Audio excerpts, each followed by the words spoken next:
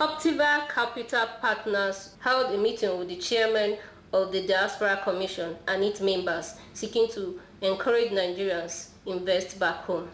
The Optiva's executive officer, Ms. Jane Kemamia, while discussing with the members of the commission, explained that Optiva Capital Partner is a platform created to encourage Africans in the diaspora invest back home.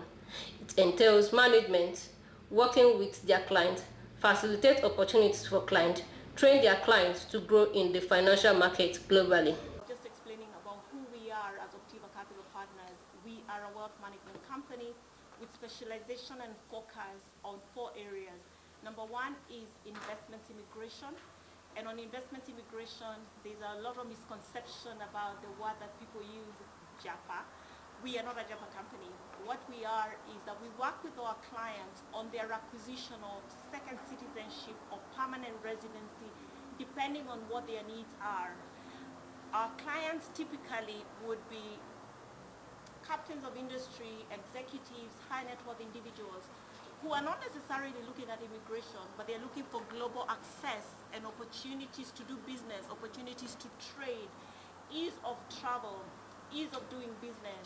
And that's one of our areas of specialization. We have a wide range of opportunities or programs and one of the things to note that these are government legislated programs, so we work with various governments across, whether it is Canada, the US, we work with islands in the Caribbean.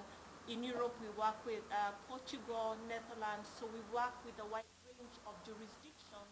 Trust the gap between the need to invest back home, whether it's at a corporate level, structured investment opportunities, is it in hospitality, is it in healthcare, is it in education, is it in manufacturing?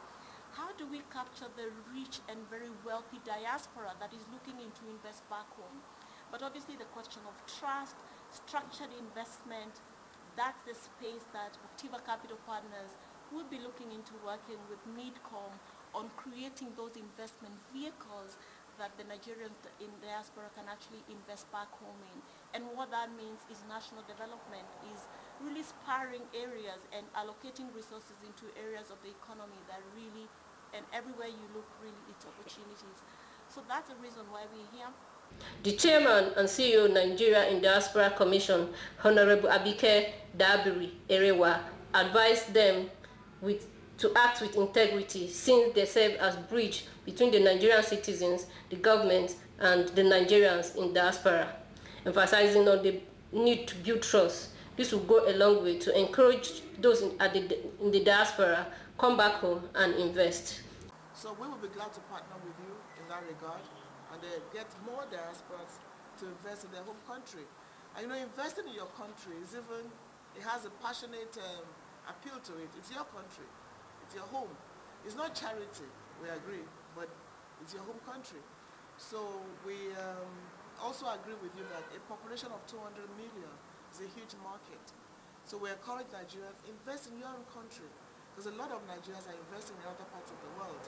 And we hope to work with you in that regard and hopefully we can continue to encourage our brothers and sisters to think of home first. And even the Nigerian government, in talking about foreign direct investment, your first line of contact should be Nigeria, in the diaspora. Diaspora direct investment should become, we're getting there. And we hope to build more on it, working with uh, people like you. And uh, we have a strong team that I think we start the engagement with um, right away. So thank you for visiting and we look forward to more structured diaspora investment, diaspora engagement, and diaspora contributions back to Nigeria. Evelyn WEC TV.